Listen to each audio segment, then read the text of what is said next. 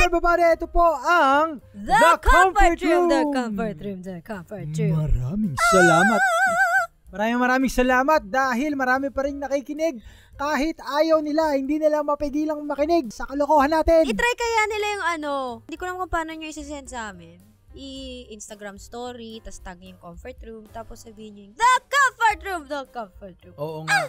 Yung ganong, para iko-compile namin. Yes! Tapos ilalagay namin sa mga Instagram namin na nakakulod. Oo Tapos lahat nga. kayo, The Comfort Room! The Comfort Room! Ah! Pagandahan kayo ng, ah! Ganun. Banyo sound. Banyo sang, mga ganyan. Banyo Tag nyo kami ah. Okay, the comfort room challenge. Yes! Oo. Anyway, maraming maraming salamat at uh, available po kami sa Spotify. Yes. Yes, at makita nyo ang aming excerpt sa YouTube. Aha. Aha, at nandito naman tayo para pag-usapan ang mga kabanyo-banyong usapan. Yes. And ano ba ang ating pag-uusapan ngayon? Hindi ko alam. Hindi ko din alam eh. ba tayo nag-uusap? Hindi ko rin alam. Trabaho? Charing. Or bored? Pambayad sa bills? Char. Boredom? Boredom. Spell boredom.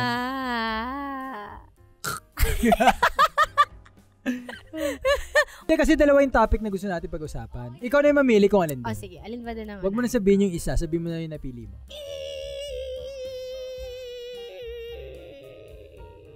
Nabunggo. Alam ko na. Ano? Modern signs of breakup. Yan! Eh! Modern science of... Although, guys, hindi kami magbe-break ha. Tigil-tigilan nyo kami. So, wala kami masyadong alam dyan. Sigurado ka ba? Hoy, parang tanga to, gago ka. Nagalit. Hindi ako nakapag-break ha. Okay, oh, hindi, joke lang. Ikaw Ooh, naman. issue! Eto na yung issue gusto nyo. Ito na yun. Ina nyo. Modern signs of breakup. So, okay. Simulan muna natin sa paano ba yung breakup dati. Wala, break na tayo. Ganun lang. Hindi, hindi ganun ah. Di ba? Hindi ganun ah. Wait lang. Ito, ito, Malay ito, ko, ito, isa ito. lang naman naging ex ko eh. Eto na naman tayo sa isa kong ex. Yung, yung dati, kasi ang breakup dati, hindi ko rin sure kung paano ah. Pero kasi ako nakasanayan ko na parang hinihintay na lang nung isa manlamig. Yung ganon. Ah!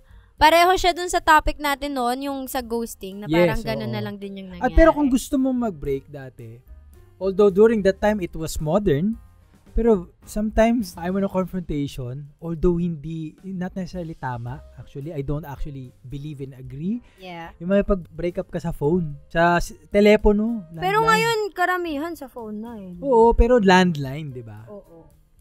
Lumang signs of breakup, Kimi. Mhm. Ang lumang sign of breakup, automatic, you have to confront the person.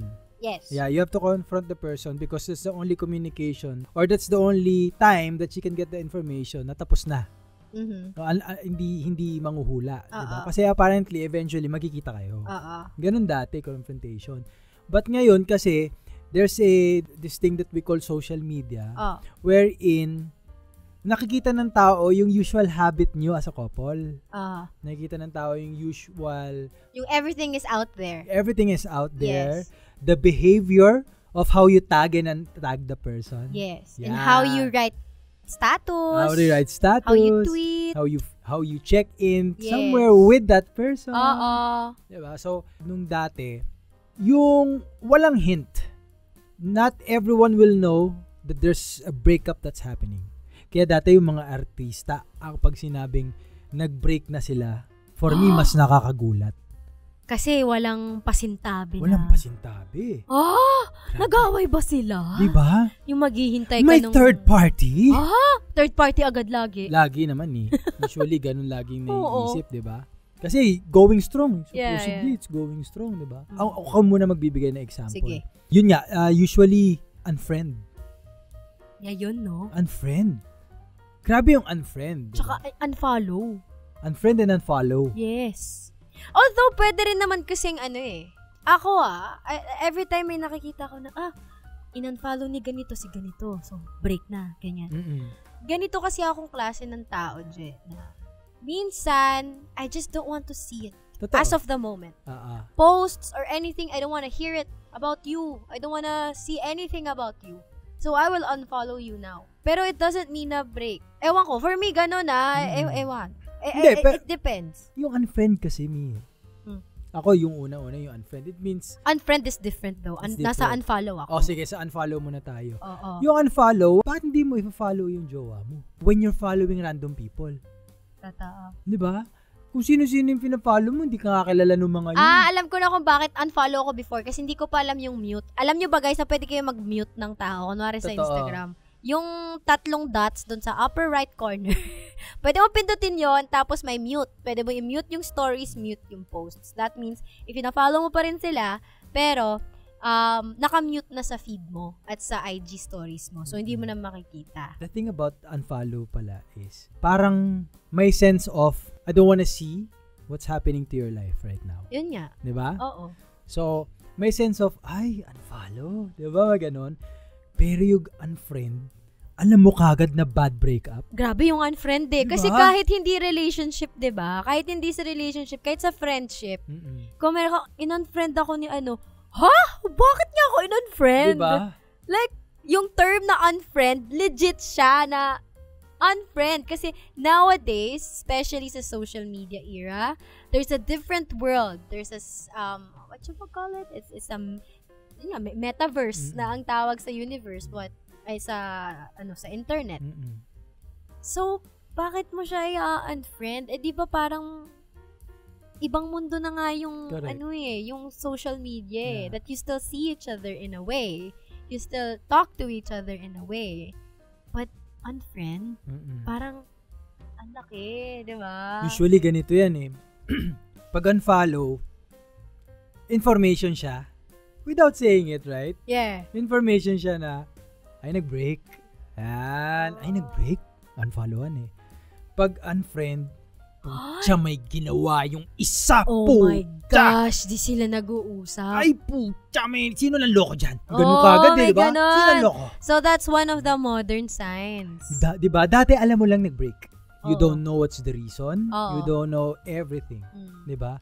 But now, when someone unfriended, Oo. Automatic may inclination sa utak mo na, ah, putya, nag-away ng mal- Yan ng yung, masama. yan yung example ng ngayon, ah. na ngayon. Pero ako meron kasi tayong mga millennials na kasing idig batch natin na, ewan ko, ganito kasi nung high school ako. Or nung medyo mga ha- college, ganyan. Friendster days. Mm-mm. Alam mong may problema ang magjowa. Kung Friendster days to guys ha, so mag-tweet kayo kung sinong makakagets nito. Kung dun sa testy, wala na yung testy ng boyfriend or Yes. girlfriend. Bakit natabunan? Eh, di ba Mm. dapat pag may jowa ka, yung Friendster page mo, yun lahat yung nakikita. Grabe yung Friendster, Kim, ha? Ha?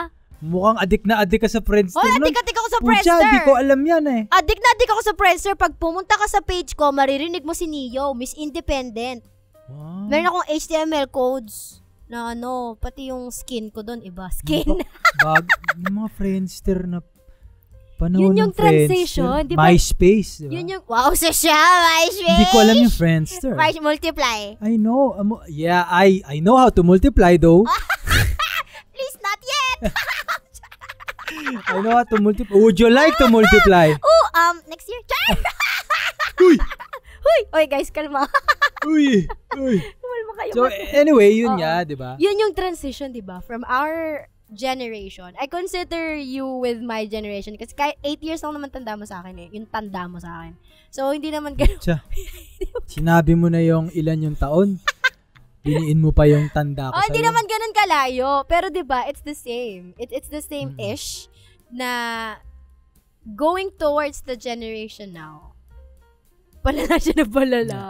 Ewan ko. No, it's because the yung yung generation Sa, sa internet, guys, ah. internet internet not Oh, the sa in- generation in, in total. Oo. Yung generation ngayon, the generation of social media kasi is it has become a habit for us or a behavior for us to share what's happening in our life. When in fact, in the past, chismis lang yan. Oo. Pinag-uusapan, hin- hinuhulaan mo kung anong nangyayari. So, yun yung sinasabi ko kanina na parang, for me, parang ang mas malala siya in a way na mas in your face. In your face. Kasi dati nga, Hoy!